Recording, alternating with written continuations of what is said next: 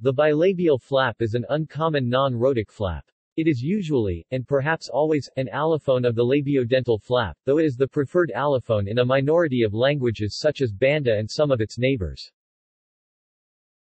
In Mono, the sound has been described as follows In the first step, the lower lip retracts into the oral cavity to a position behind the upper teeth. At the same time, the upper lip descends to wrap over the upper teeth.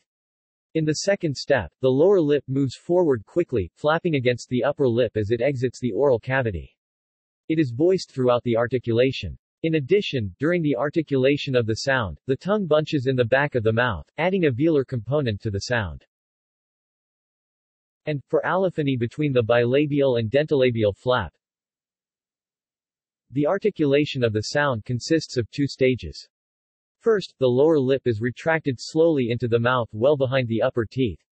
Second, the lower lip is brought forward rapidly striking the upper lip or upper teeth in passing. In the literature it has often been transcribed by a W modified by the extra short diacritic W. Since flaps are similar to brief stops, it could alternatively be transcribed as B, but this could lead to interference between the diacritic and the ascender of the base character. In 2005 the International Phonetic Association adopted the right hook V symbol to represent the labiodental flap.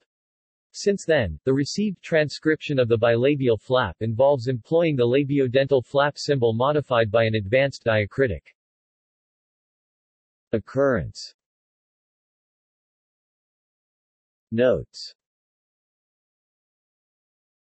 References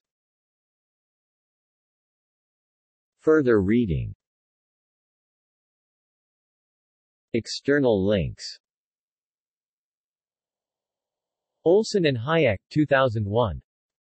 The Geographic and Genetic Distribution of the Labial Flap.